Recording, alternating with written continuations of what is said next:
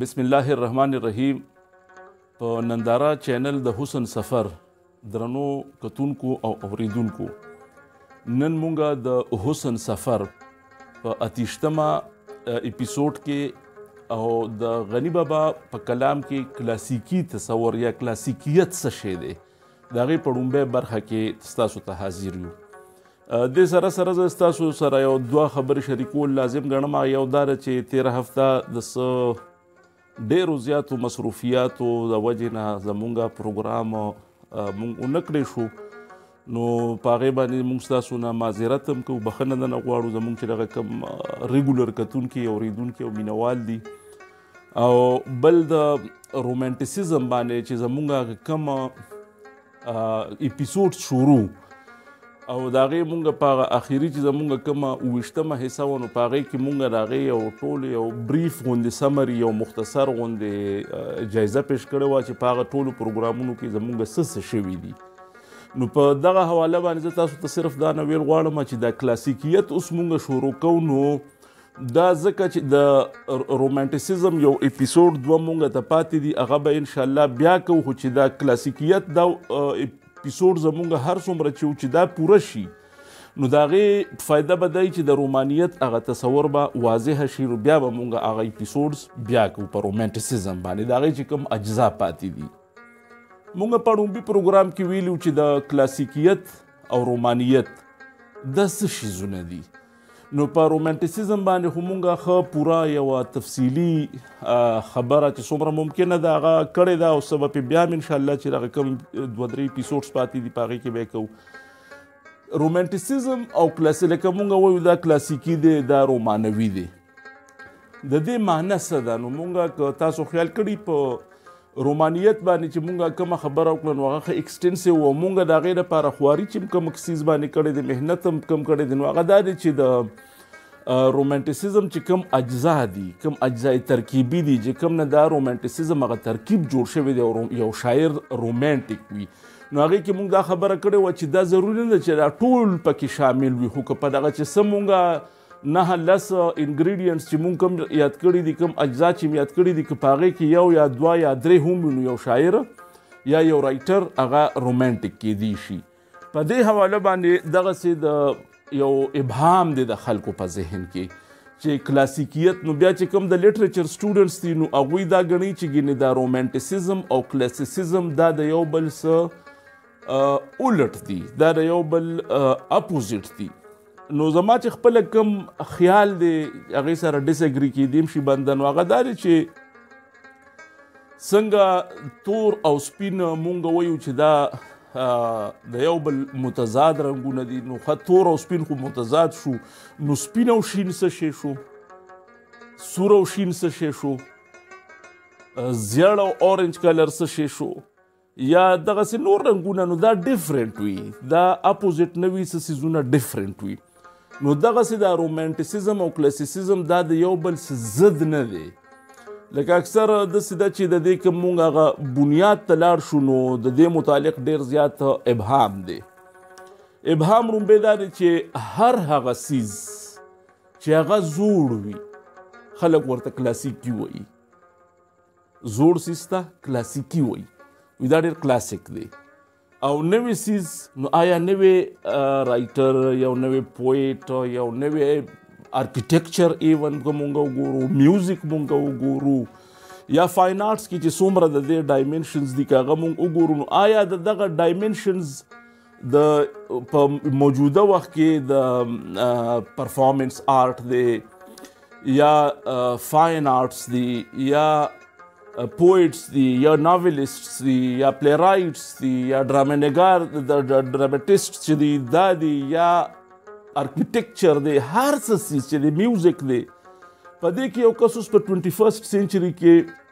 هغه څه اډوینچرز کوي او نو هغه کلاسیک نشي کېدی دته به موږ دا انتظار کوو چې دی به سل کاله پس کلاسیک کیږي ځکه چې دا عام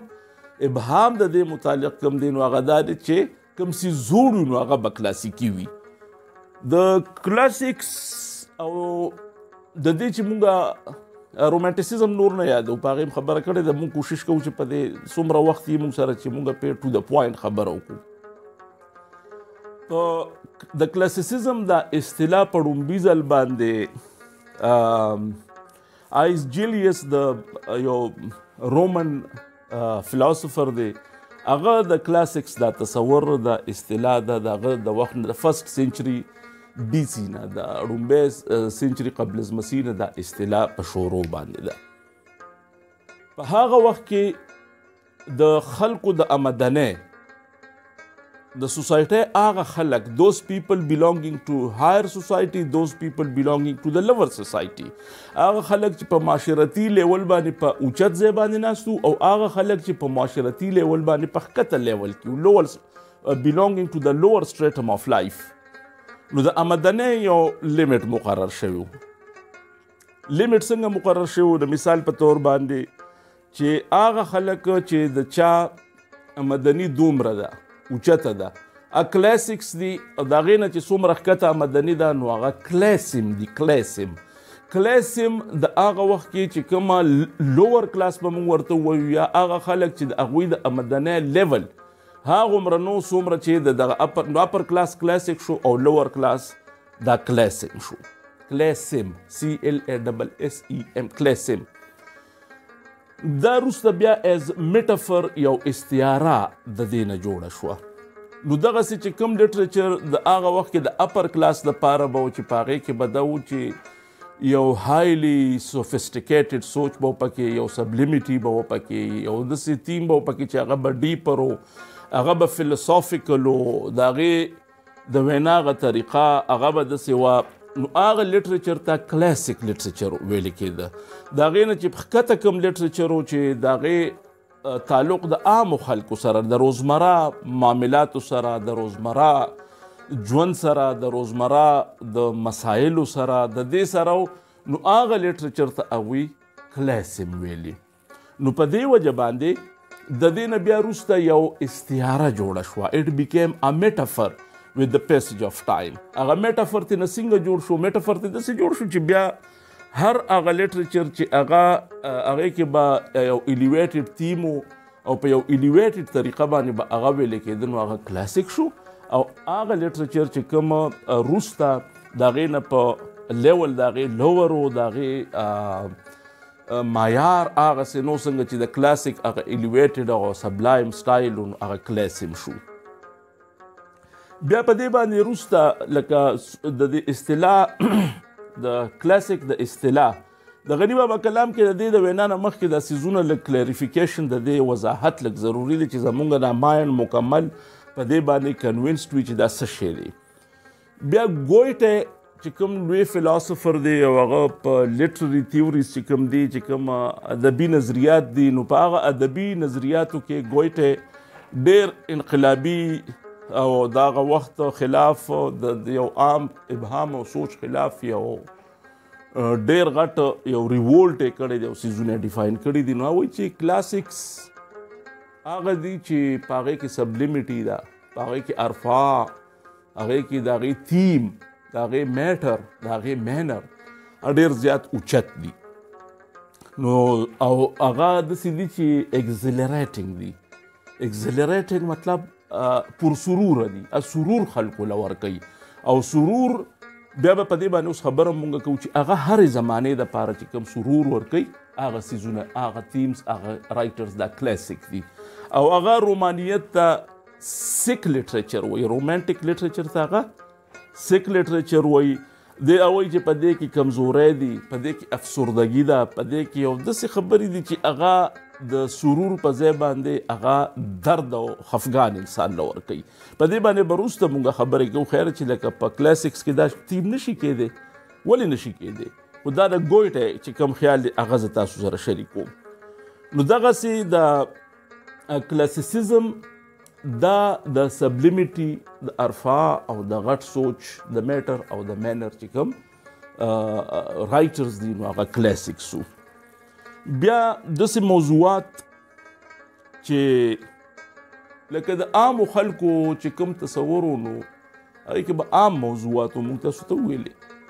او څنګه چې سوشل فلکس دی په معاشره کې لکه معاشرتي سماجي بدلون هر وخت راځي لکه اوس د مثال په تور باندې چې مونږ کومه سوسایټي کې اوسو دې نه وړاندې زمونږ چې کوم فادرز وو د هغوی فور فادرز وو د هغوی ګریډ ګرینډ پیرنټس وو دغسې نو دا دغسې د ټول د انسان تاریخ څه شی دی د انسان تاریخ د د تهذیب تاریخ دی چې د د د د سیولایزیشن د کم کم سټیجز نه راتیر شوی دی دغه د هیستوري ده دغسې که مونږ وګورو نو دا موضوعات هم لکه د مثال په تور باندې مونور کی وا په دنیا کې شهنشاهیت او بیا دغه سي پکې بیا روسته پکې مختلف د فارمز اف ګورنمنټس راغلي دي مختلف طریقو سره دا د څنګه چې سوسایټي بدل شوی دا نو دغه سي لکه دا سیونټین ایټی ناین د فرنچ ریولوشن نه د یورپ هغه ټوله سماجي معاشرتي ډانچه په هغې کې یو ډېر لوی فرق راغلی نو دغسې دا کلاسم لټریچر چې کوم دی نو هغه د خپل وخت یو اواز کیدی شي د خپل وخت خو هغه اواز به داسې اواز وي چې دیټ ویل نټ سټینډ د ټیسټ آف ټایم هغه به د وخت سره روان نه وي یو وخت داسې راشي چې هغه اواز ختم شي هغه مسئلې اوس د مثال په تور باندې په یو وطن باندې قحط راغی خدا نه خواسته زلزله راله طوفان راغی سیلاب راغی او په هغې باندې لیکل وشو هغه مسله ختمه شوه هغه موضوع ورسره مکمله هغه لاړه ختمه شوه هغه ورسره دفن شوه همدغسې د کلاسم لټریچر د دغه عوامي ژبه عام خلک چې کومه ژبه باندې پوهیږي د هغې دغه د ډکشن مطلب زمونږ بالکل نه دی لکه څه څیزونه داسې چې په هغې کې ډکشنري مشکل الفاظ پکې نه وي الفاظ په هغې کې ډېر ساده وي خو د هغې تیم او مقصد چونکې لکه د مثال په تور د غني بابا یو کلام یو حصه و چې ساز داسې اواز د ښکاره پټ او پټ ښکاره کي تورې خټې واخلي تېنه جوړه مناره کي تاسو ګورئ په دې کې هیڅ مشکل لفظ نشته خو سوچ پکې کمپلیکیټډ وي سوچ پکې دسی چې هغه انسان په سوچ باندې مجبور کړي چې دا څه وایي نو دغه سي د کلاسیم لینګویج او تیم دا به عامو د کلاسیکس لینګویج او تیم دا به سبلایم دا به الیویټډ او داسې موضوعات په پاغه کې لکه چېړه کې چېړل کېدل چې هغه موضوعات به د په کلاسیکس کې چې هغه به د هر وخت د پاره ړومبی مونږ چې د د لټریچر هیستوري د غیر سټوډنټ په حیثیت مونږ ګورو نو رومن سیولایزیشن او گریک سیولایزیشن یونانی او رومن رومي گریک سیولایزیشن دا زوړ دی رومن سیولایزیشن د پسې ورغلی دی په یونانی تهز... یونانی تهذیب کې دا ټول سیزونه د د لټریچر د فلسفي د استرونومي د سوشیالوجي د ساينسز د څومره د د بایولوژیکل ساينسز پورې چې څومره موضوعات دي دغه ټولو موضوعاتو باندې په دغه یونانیانو خپل تبازمایي کړې ده او د خپل کمال ته رسولي دي بیا دغه خلک چې کوم د هومر په شانتي او دغه خلک اودیسیس یا ایلیډ دغه باندې خبره کو دغه خلک د غوی د پاره د رومنز د پاره هم دا کلاسیکس او کلاسیکس او رومنز کوشش کاو چې د ګریکس دغه غټ غټ فلسفرز چې کوم دي چې هغه د سوکرټیز او ارسطوټل او د دې غټو غټو سفوکلیز او د دې ټولو غټو غټو خلکو هغه سیز هغوی بیا دوی په خپلو طریقو سره د هغوی د نقل کوشش کړی دی او دا کوشش یې کړی دی چې د هغوی هغه تیم د هغوی هغه طریقه هغه خپله کړي او رومنز هغه کلاسیکس چې د هغوی کوم سټانډرډ دی چې هغه اکوایر کړي چې هغه حاصل کړي نو بیا رومنز کې سیسرو شو ورجل شو دا غټ غټ فلسفرز دي نو دا چونکې د دغه وخت هم اثر هم کوم وخت کې چې دا یو قسم بایفرکیشن خو ورته مونږ خیر نه وایو خو دا وایو چې دا دا تیری چې کله راوچتېدله نو هغه خلکو بیا داسې وکړل چې د لکه د سیسرو ورجل دا کلاسیکس د د رومن کلاسیکس دي دوی ته دوی ځان ته یو ماډل خپل ځان ته یې هغه د ګریکس وو بیا دوی کې خپل چې کوم سيزونه پکې لکه یو کې پیټریوټیزم دی په یو کې هیومنزم دی هغه د دوی هغه کلاسیکس انداز هغه بیا روسته بدل شوی دی د خبرې غرض دا دی چې د دا مونږ له ندی ویل پکار درته د خبرو هغه نفس درته ویم دا مونږ نه شو ویل او دا را لویل بالکل ندی پکار چې غنی صرف گریکس یا رومنز دا کلاسیکس نه د هر زمانه د هر قوم د هر جبه کلاسیکس دا ممکن وي او دا یي لکه د جرمن کلاسیکس فرنچ کلاسیکس برټش کلاسیکس امریکن په موجوده وخت کې دا وی کلاسیکس دغه سي په د د د پښتنو زمونږ د خپل پښتو لټریچر کلاسیکس زمونږ د اردو لټریچر د پرشن لټریچر کلاسیکس لکه په کلاسیکس چې کله خبره کیږي د دنیا په کلاسیکس باندې د ورلد لیول کلاسیکس باندې نو په هغه کې یو شاهنامه فردوسی د هغې ذکر هم کیږي چې دا ورلد کلاسیک دی غرض مې دا دی چې کلاسیکس دا په هر یو لینګویج کې کیدی شي په هر یو قوم کې کیدی شي چې دوی کله د دې چې د میټر او د مینر دا چې کوم په دې کې ویل کېږي او په کومه طریقه ویل کېږي دغه دواړه چې را یوځای شي نو هغه که فرض که د دې وخت د دې هم اثره وخت د 21 فیصدي د 2021 کې هم یو کس کلاسیک کې دی شي که پاغه کې هغه کوالټیز وي او یو کس چې هغه زر کاله مخکې لیکل کړي دي خو هغه کې هغه کوالټیز نشته نو دا غو زوړواله دا غو اولنس دا غو بینګ انټیک دا دا غو د کلاسیکیت دا سو پیمانه مونږ نه شو ګرځولې خبر غرض دا دی چې کله رنسانس او شو رنسانس نشاط ثانیه چې کله وشوه نو په نشات ثانیه کې 15 16 سنچري کې د لټریچر چې سومرا په یورپ کې پرولیفریشن کې د دا خورېده نو په دغه خورېدو کې دا هر طرف ته دغه کوېسچنز راوچت شو دغه سوالونه پکې راوچت شو کوم سوالونه پکې راوچت شو چې د لټریچر تیم څه په کار دی او د لټریچر مینر څه په کار دی دا په کومه طریقه باندې څه څیز ویل په کار دي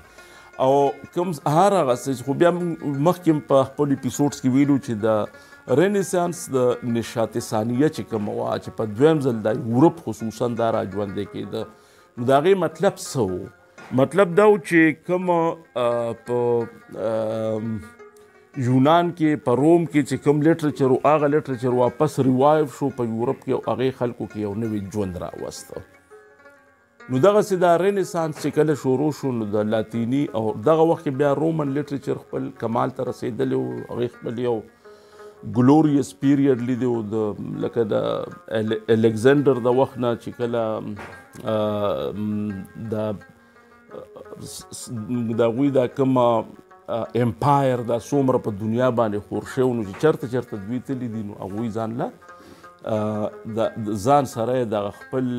د خپل سیویلایزیشن د خپل کلچر هغه آثار ځان سره وړي دي نه خو بیا چلته پرته کلاسیکس په یو حساب سره پدیو چې لکه د سکندر اعظم استاد چې کومونو هغه د کلاسیکس ارسټاټل دا کوي د سم ورته وایو چې دا دغه استاد بنیادی تور د کلاسیکیت بابا و یا دغه حساب دوی چې ځان سره کوم ارکیټیکچر چرته وړی دی کوم ځایونو ته نو هغه ټول سیزونه د سیدی چې د دې ټولو خبرو یو پرولیفریشن اراوند د ورلد شوی دی اکراس د ورلد شوی دی خو دغه شریډز دي شریډز وړې وړې حصې دي او په یورپ کې دغه سیز دا په ټوټلیټي کې دا په اجتماعي شکل کې د خلکو سوچ او فکر ته څه ته چې یونیورسيټي ویټ وای دا غځای چې کوم دانشورانو دا غوي په ذریعہ باندې دا سوچ بیا روسته خور شوی دی د فرانس د سپین د ایټلی د گریس د روم د انګلند د جرمني د دې ټولو وطنونو کلاسیکس بشمول زمونږ د سب کانټیننټ او بیا زمونږ د د پاره د د ایسترن ریجن د پاره زمونږ لکه د شاهنامه فردوسی ذکر مونږ وکړو چې انګريزان دغه سوري دا ویسټرنرز چې کوم دي یا مستشرقین چې کوم دي چې هغه خلک هغه عالمان چې د مشرق متعلق علم لري د مشرق متعلق لیکل کول غواړي هغه د دې خبرې یو ریکګنیشن کوي مونږ چې کله بیا راځو خپل د پښتو لټریچر ته دا خبره لګه نیرو ډاون کووس هغه دا چې په پښتو لټریچر کې مونږ که وګورو نو مخزن شو خیر البیان شو د رحمان بابا کلام شو د خوشحال بابا خوشحال نامه شو بازنامه شو دې ته مونږ کلاسیک د دې د وجه و چې دا زاړه دي یا غنی بابا ته مونږ کلاسیک ویلی شو کنه چې هغه د شلمې پیړۍ یو لوی مبارز او یو لوی بابا و څه کسان څه زر اته سوه کاله څلور شپږ سوه کاله مخکې او څه اوس زمونږ د وړاندې تیر شوي دي یا اوس دي فرض کا مونږ اوس دې خبرې له راځو نو هغه خبره مونږ په دې تور باندې په اسانه وکړو چې رحمان بابا یا خوشحال بابا یا بایزید انصاری پیر روخان دا خلک دا په خپل انداز کې کلاسیکی زکو چې دا وی تیمز غټو دا وی موضوعګانې غټې وي هغوی په هغه موضوعګانو باندې خبرې کولې یا کولې غوښتله کم چې هغه یونیورسل دي دغه سک هر کس چی داسی کوسچنز راوچتی چی هغه د هغی د وخت سره او د یو خاص قوم او خاص جبی سره تعلق نه وی بلکه د هغی یو یونیورسل او آفاقی انداز وی آفاقی یونیورسل اوس لکه د مثال په تور د انسان د پیدایش تاریخ د انسان په دې کره ارض باندې ژوند کول د دې ځای نه پاسېدل د دې ځای کې کېناستل دلته دا زموږ چې څومره دا بودوباش دی دا کول د انسان د بل انسان سره تعلق د انسان د خپل معاشرې سره تعلق د انسان د خپل انر سیلف سره تعلق د ده خوشحالۍ د ده غمونه دا که د هر قوم هغه که د افریقې هغه مونږ به ورته په هغه ان سیولایزډ خو ورته زه د سبت حسن چې کوم د سیولایزیشن تعریف کړی دی نو په هغې کې لکه موږ ته چې کوم خلک غیر مهذب ښکاري نو د هغوی خپله یو تهذیب وي لکه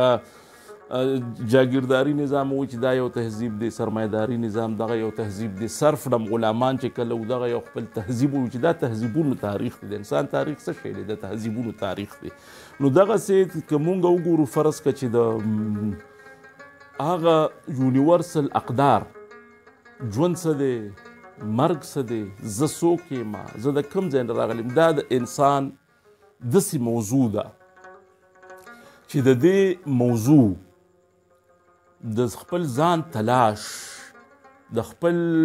ورک کور یا هغه کور چې دی ورته ورتلونکی دی په دې باندې انسان د سوچ نه خالي نشي کېدی چې وګورو چې دا لس شل کاله پنځوس شپېته اویا کاله دا ژوند زما څه و دا څنګه راغلم کوم ځای نه رانم کوم خوا ته لاړم کلاسیکس په دې باندې سوچ کوي دا د هر چا د سوچ کارم نه دی او بیا دا د هر چا د پوهېدنې لیول هم نه دی نه پې هر څوک پوهیږي او نه د هر چا د پاره دا وي نو ځکه کلاس هم لټریچر چې کوم دی چې هغه د وخت سره راوچت شي او د وخت سره لاړ شي ختم شي لکه تاسو وګورئ د کله چې د سوشلیستیک تیوریز کمونیستیک تیوریز دا په دنیا کې ډیر زیات پریکټس کېدل او انقلابونه راتلل او دغه کېدل نو ډیر رائټرز د سیو چې هغه د وخت سره راوچت شو او د وخت سره هغه لاړل هغه نظام چونکې لاړ کېناسته یا د هغې هغه فارم به بدل شوي نو هغه خلک پاتې نه شو هغه څیز اوس هغه ابسلیټ شو هغه څیز هغه څیز اوډیټډ شو همدغه رنګې بیا داسې لټریچر چې هغه په دغه وخت کې په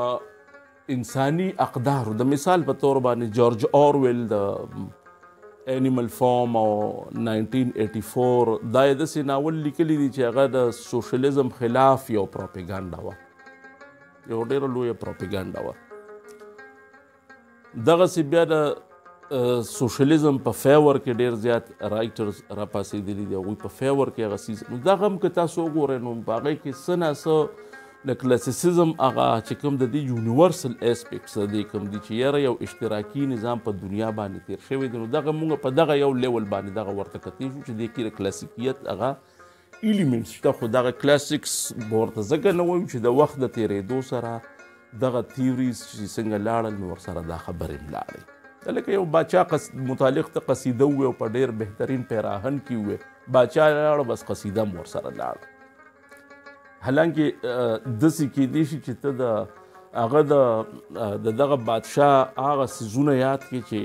کم د راتلونکو نورو بادشاهانو سره هم تړلي دي نو کېدی شي چې دغه پیس اف قصیده دغه ژوندې پات شي غنی بابا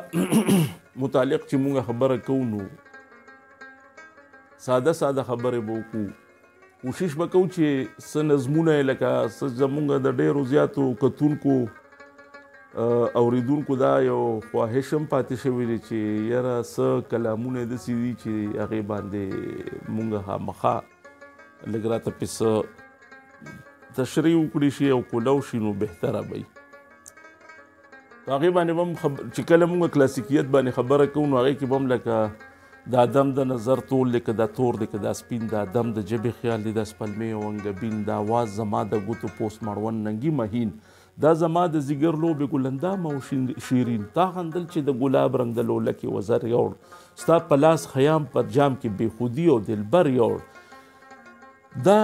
څیزونو په داسې قسم نظمونو باندې به بیا مونږ کوشش کوو چې دا راوسپړو د کلاسیکس بنیادي خبره چې ده نو ټو ریز ا کوېسچن سوال راوچتول دي سوال سیزونه څنګه دي هغه سیزونه چې کم یونیورسل دي هغه چې هغه د وخت د زمانه او د جغرافیې نه آزاد دي هغه سوال چې هغه د قومیت نه د رنګ نه د نسل نه د جغرافیې نه، د جغرافیې د کرښو نه او د زمانې د قید نه ازاد سوالونه دي، نو دا د یو کلاسیک بنیادي فریضه هم دی او دا د هغه میټر وي او بیا مینر مینر باندې به هم خبره کوو مینر مطلب د ویلو طریقه یو غټ تیم دی د مثال په تور ستاسو په وړاندې د غنی بابا یو کلام چې د هغې تیم یونیورسل دی تپوس که جواب د ژوند متعلق وي تاسو وورئ وایا وایا مولا جانا ژوند تپوس دی که جواب ژوند وسال دی که جنون دی که آرام که اضطراب ژوند امام دی که ګلفام دی که منبر دی که محراب که یو مست غوندې جهان کې رنګین خوب دې د سراب که لمحه د نور ګټل دي د دې تور تاریک جهانه وایه وایه مولا جانه ژوند ته پوس دی که جواب ژوند فرعون دی او غرور دی که جنون دی او سرور دی د نمرود د زرو تخت دی که رنگین مرګ د منصور دی تاسو ګوره دی کې دا تضاد چې دی یادی یزید دی د حسین مرګ دی د یزید تخت دی رنگین تخت دی ژوند څه شي شو چا چې سب حسین ژوند بیل دغه ژوندو یزید تخت وګټه او که دا ژوند دی دا حسین که رنګین مرګ د منصور دی دا حسین مسکې مسکې دی که یزید مست په غرور دی دا بهار دی که ګلاب دی لږ پټ شوی د خزانه تاسو ګورئ دا بهار دی که خزان دی لږ پټ شوی د خزان چې انسان دا ژوند دا څه شی دی بهار دی او خزان دی د خزان نه پټ شوی او ګل دی سوري چې دا انسان ژوند څه شی دی دا بهار دی که ګلاب دی لږ پټ شوی د خزان د خزان نه پټ شوی بهار او ګلاب دی دا ژوند دغه دی دا تاسو ګور دا کوېسچنز دي ژوند ته پوس دی که جواب دی وایه وایه مولا جانه ژوند یو مست د میو جام دی لیونې مخ د خیام دی که یو مات د غم کچکول دی یو رنگین باغ د ګلونو که اوخیار مخ د بهلول دی که یو تیخت او فرار دی تختیدل دی د خپل ځانه که د اور د ازغو شپول دی جون ته پوس دی که جواب دی وایه وایه مولا جانه جون یو خیش دی چې خوریږي الله نور السماوات والارض هر ځای باندې دا نور جون یو خیش دی چې خوریږي کن فیکون هر لازه سیزونه خوریږي ډیریږي که جمال چې خوري کیږي او که نه په دې سیزونو کې چې دا کومه بیوټي ده دا ختمیږي جون دی کې کم یو شو یو لحظه جون هر طرف ته خوریږي حسن خوریږي دغه ژوند دی او بل طرف ته دغه خور شوی حسن دا به خوري کیږي نو دغه ژوند دی دا ساز خپل مرګ ته کړیسان دی که یو اور دی چې بلیږي د دې تلو مقام دمشته د دې تلو مقام دمشته دا مونږ چې رالو دلته مخکې مونږ په هغه اپیسوډز کې ویلي چې د یو ځای نه رالو یو ځای ته راغلو یو ځای ته راغلو د دې ځای نه به تېرېږو نو د دې څه دمه شته او که نه بس ټول عمر به مونږ په حرکت یو د دې تلو د دې تلو مقام دمه شته دمه مونږ به دمه کېږو هم چېرته او که نه همدقسې په دې حرکت کې به یو هلته هم یو اضطراب به و د راتلو دلته، دلته رالو، دلته د تلو یوه مجبوري ده، د دې ځای نه به ځو، چېرته چې لاړ شو، هلته به بیا له څه قصه وي، د دې تلو مقام دمه شته، که د ساه نه ساه تښتېږي، ساه نه ساه تښتېږي، هره ساه چې موږ اخلو، د یوې ساه نه بله تښتي، یو له لاس ورکوي، یو ساه. نو نوې ساه راوچته کړي خو اخیری ساګانې څه شی دي د ساه نه به ساه وتښتي دقه مرګ دی که د ساه نه ساه تښتیږي منګوټي که د ارټ دي څه ډکیږي څه تشیږي زه وما زما پلار او د هغه پلار او د هغه پلار او د منګ ارټ منګوټي دي څه ډکیږي او څه تشیږي هغه تش شو زه رالمه زه زما به تش شي زما بچی زما د بچي هغه به تش شي د هغه بچی د هغه بچی منګوټي که دا رټ دي څه ډکېږي څه تشېږي که یو نور دی چې خورېږي نا خبره د خپل شانه او که نه دا مونږ کې چې دا څومره د نور دغه بسری په مونږ کې دي په مونږ کې دا د نور چې کوم دا زینه دا کما یو سورس دی د نور دا مسلسل په مونږ کې دا رټ منګوټي دی چې یو ډک شي بل تش شي او که نه نور دی هغه نور چې د یو لوښي نه واخلي او په بل لوښي کې واچي دې باندې ډېر کلامونه دي د بابا دا به شریک کوو انشاءالله نو وایي که یو نور دی چې خورېږي ناخبره د خپل شانه ژوند ته پوس دی که جواب وایه وایه مولا جانه مولا جان ته وایي د مولا دلته چې را یاد کړی دی نو د دې نه داسې څه غیر ضروري څه مطلب ترې ایستل نه دي پکار دا داسې چې په لټریچر کې لکه په مونږ کل د خلیل جبران د د پروفټ غالي او یس د پروفټ هغه کې تاسو ګورئ دی روان یو مختلف خلک ته نه پوښتنې کوي او دی جوابونه ورکوي یو کیریکټر په کې المصطفی دغسې د په غټ غټ لټریچر کې دا ایګو الټر ایګو چې دا کوم د لټریچر والا سټونټان دی غوي ته پته لګي چې دوی دا ټول سيزونه لکه ځان له یو خیالي کردار جوړ کی او غي سره بیا مکالمه کوي او مکالمه له د خپل زړه جوابونه ورکوي او دا طریقه غنی بابا زه په زه بار بار ډیره زیاته په موثره طریقه باندې کړي په دې باندې ما خپل لغه کې سیواړه واړه سيزونه راټول کړم دي چې په کم کم لټریچر کې په کم کم ځای کې دا مکالمه ده او دا مکالمه سپیکر څوک دی او دا غي اډینس څوک دی لکه څوک سوال پوښتنه څوک کوي او جواب څوک ورکوي نو په دې باندې مونږه څه دسه خپل لګ ډیر مات ګډ په یو نیم یو ځای بل ځای کې په دې باندې مونږ یو کوشش کړی دی لکه اې د لیونیانو نکه مونږ خکم مستی خدا تاسو څه ګوره چې لکه دنه دا تاسو څوک کوي خپل یو خیالي نوسې ځان له جوړ کړي دی او هغه تنه پوښتنه کوي او دی ول بیا جوابونه ورکوي لکه وایي چې غوټه ماشومه کوکه ډکه د خیس سنگاره الله ته پورته کړه خفه او بې قراره اې د ګلونو خدایا اورې که ناورې ولې کې ما ګلاب او ګلاب خاورې تاسو وګورئ نو ماښام د باغ مال دا اوس تاسو وګورئ غوټه خلک کوله وکړه والله سره یو مکالمه کوي او دی بیا هغه نوټ کوي او ماښام د باغ مالکه لیلا په سیل را لاوي وا دا زیړه غوټه او پیک پرې کوي ختولم زما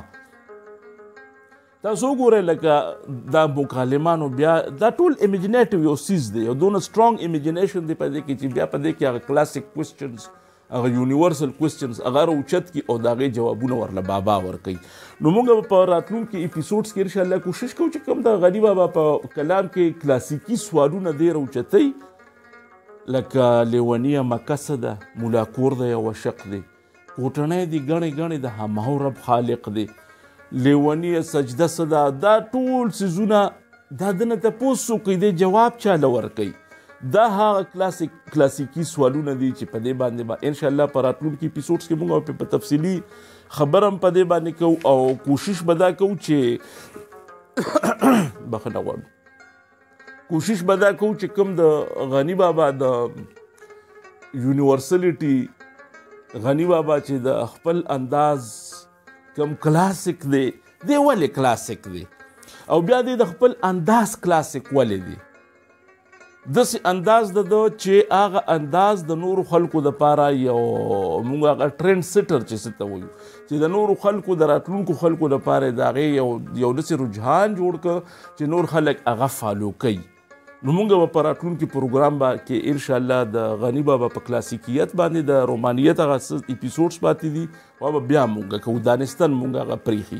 او د غنی بابا په کلاسیکیت په دویمه حصہ کې به مونږ د غنی بابا چې کوم منتخب کلامونه دي چې پاره کې کلاسیکی عناصر سدي نو د دې د یو ریویژن سره هغه به هم مونږ بیا ان شاء الله تاسو سره شریکو بل زمونږ د ډیر ګران کتونکي او درانه اوریدونکي هغوی ځای په ځای په مختلفو دغه باندې لکه یا کمنټري راولېږي نو یو یو کس لا یو یو کشر لا دغه جواب ورکول ممکن نه موږ ټولو مننه کوو چې زه زمونږ د ننداره چینل باندې د دې پروګرام د حسن د سفر یو ستاینه کوي او لا داسې خلک شته چې هغوی د فکر د خیال لکه ټول خلک په تفریح پسې ګرځي نو څه خلک داسې هم شته چې د هغوی خیال د هغوی لپاره یو تفریح وي د هغوی سوچ د هغوی فکر د هغوی اضطراب دا د هغوی لپاره یو تفریح وي نو مونږ به د هغوی لپاره دا پروګرام انشاءالله کوشش کوو چې تر څو ژوندي دا به د ډېر وخته پورې چې څومره ممکن نو جاری به ساتو عزیز جان له الله ډیر عمر او ډیر خیر ورکړي چې دا یو غټه انشیټیو مونږ را شروع کړه بل زمونږ یو ډیر د ډومبي اپیزود نه والو سپورې یو ډیر خوږ مینوال مونږ کشر ساجد جان ورته زویم میا ساجد هغه د سي څه پوښتنې کړې وي خو هغه نظمونه چې هغه ساجد جان ما ته کوم ذاتی تور دغه کړو نو هغه نظمونه د دغه ما تاسو ته ویلو چې دا هر یو نظم په زور باندې چې کوم دی نو د تصوف ته یا دغه صوفیانه رنګ ته په زور باندې دا وروستل نه دی پکار د پروګرام د راټولولو نه مخکې څنګه چې زمونږ یو طریقه ده چې یو روش دی نو هغه د غنی بابا د منتخب کلام نه یو حصہ تاسو ته یو کلام یو ساده غوندې خپل غوندې میلوډیس هغه خلک چې دا غوي بسړه کې چته پکې د مینې یا د مینې د غستون کو څه تصور شته مینه صرف ضروري ډیره ضروري ده خو د دې لپاره یو ریسیور هم پکار دی چې څوک ریسیو کوي ستا نه تا سره خزانې شوې خو چې د هغه ستوی څوک نی نو دا بې معنی دي نو دغسې غني بابا وایي مینه مینه مې کوله خبر نه وم چې د ورځې مازیګر او ماښام هم شته لکه زرکه د سپرلي وم په چړچقو خبر نه وم چې ښکاري سره دام هم شته د نیازبینې ښاپیری په بستر پروت وم خبر نه وم چې رقیب مې په بام هم شته د ساقي په سخاوت باندې مدهوش وم